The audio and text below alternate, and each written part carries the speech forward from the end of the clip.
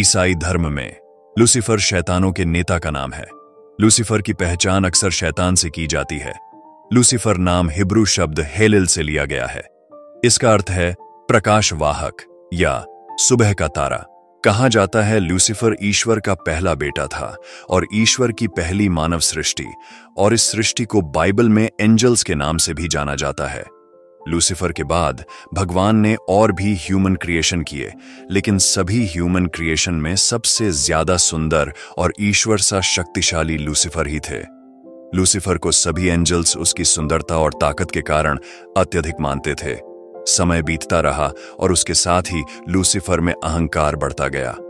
अहंकार के कारण उसने अपने आप को भगवान के समान मानने लगा।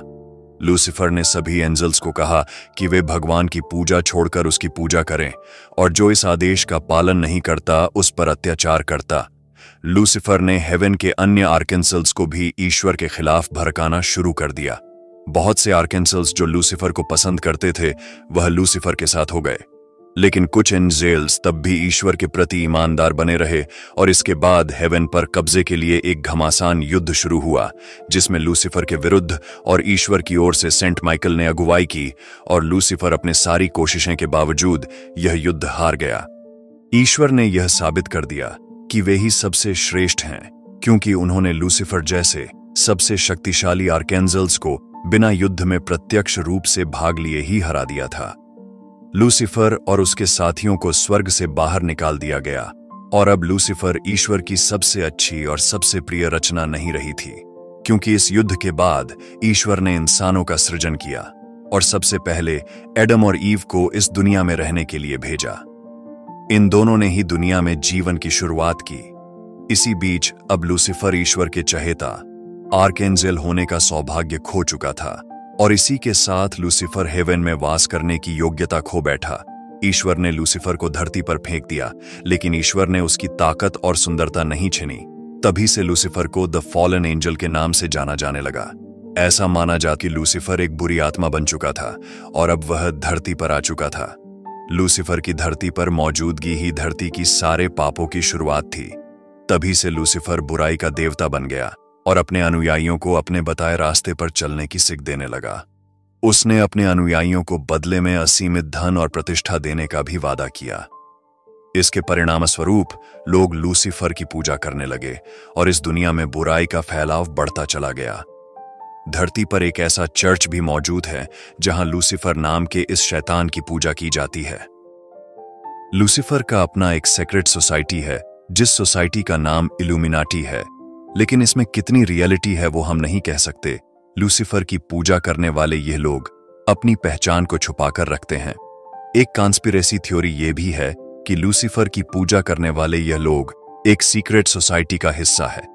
इस सीक्रेट सोसाइटी के सदस्य में दुनिया के कुछ सबसे शक्तिशाली, प्रभावी और प्रसिद्ध लोग शामिल हैं। इन लोगों ने बहुत तेज गति से सोहरत की बुलंदियों को छुआ है।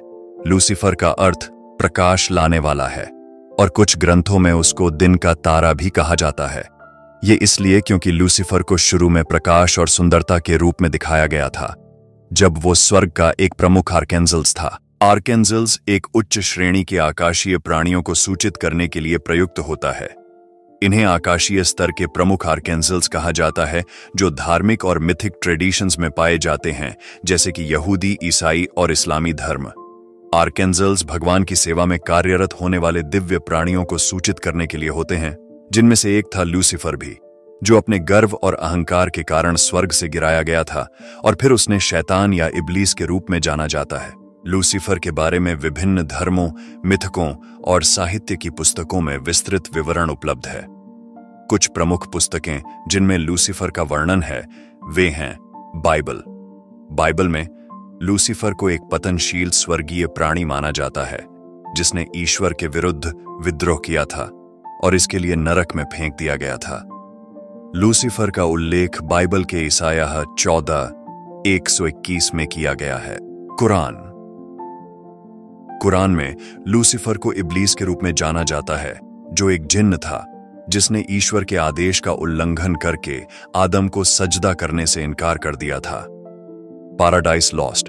Paradise Lost John Milton की एक प्रसिद्ध काव्य कृति है, जिसमें लूसीफर को एक शक्तिशाली और अभिमानी नायक के रूप में दिखाया गया है, जिसने ईश्वर के विरुद्ध युद्ध चलाया था और जिसका परिणाम उसका और उसके अनुयायियों का नरक में गिरना था।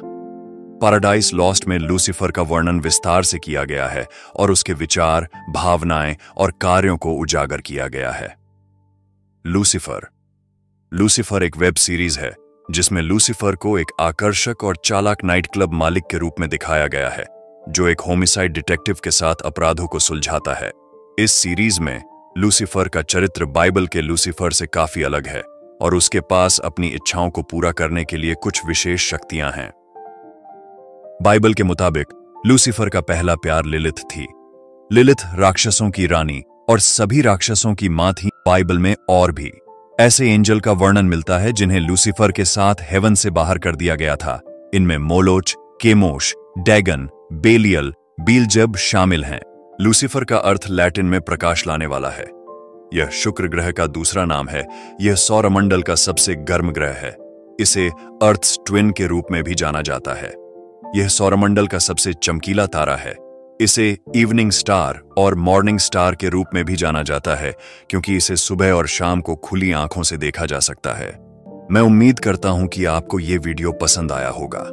यदि आपको रहस्यमय और भूतिया किस्सों से जुड़ी और जानकारी चाहिए तो कृपया इस वीडियो को लाइक करें, सब्सक्राइब करें और बेल आइकन को दबाकर मेरे नए वीडियो के नोटिफिकेशन प्राप्त करने के लिए सूचित करें।